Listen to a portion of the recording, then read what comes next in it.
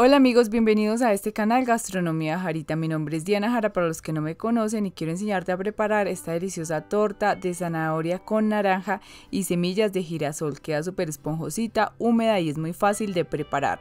Los ingredientes que vamos a necesitar aquí te los dejo escritos o también en la descripción. Siempre los escribo en todas las recetas.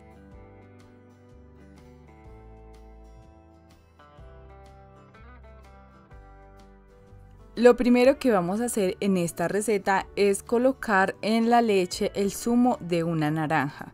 Esto va a hacer que la leche se corte y la torta quede súper esponjosita y deliciosa.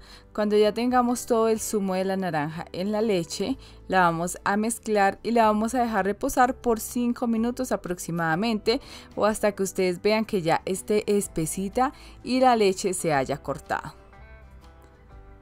Aquí como ven ya está lista, así que ya pasaron los 5 minutos y en un recipiente o en un bowl vamos a agregar dos huevos. También agregamos la leche que habíamos preparado anteriormente el azúcar, aquí pueden utilizar azúcar blanca o azúcar morena o mascado, las que más les guste.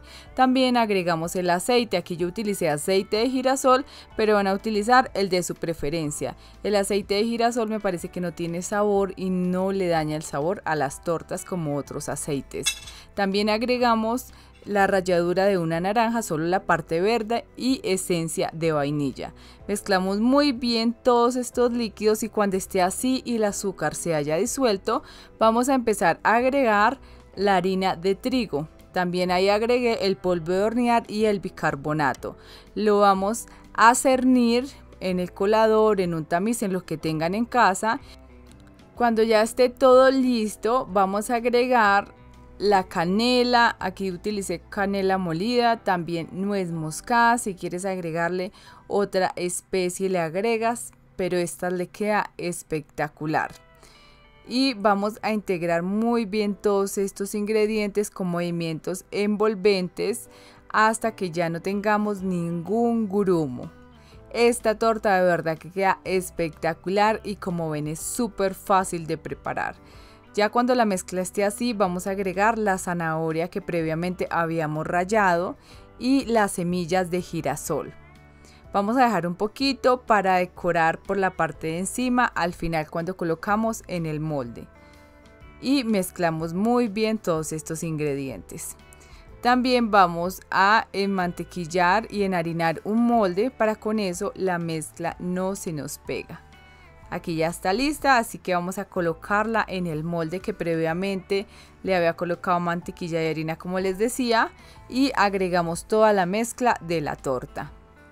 Y al final decoramos con más semillas de girasol, le puedes agregar también uvas pasas, coco, si quieres agregarle dátiles por la parte de encima, queda súper lindo cuando se pone al horno y lo vamos a hornear a 180 grados por una hora aproximadamente.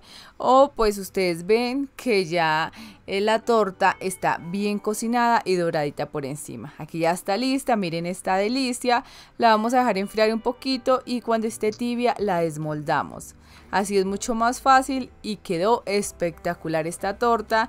Así que si te gustó te invito a que te suscribas a este canal, le me gusta al video, lo compartan para que así esta hermosa comunidad siga creciendo y YouTube muestre nuestros videos. Hasta una próxima receta y miren esta delicia.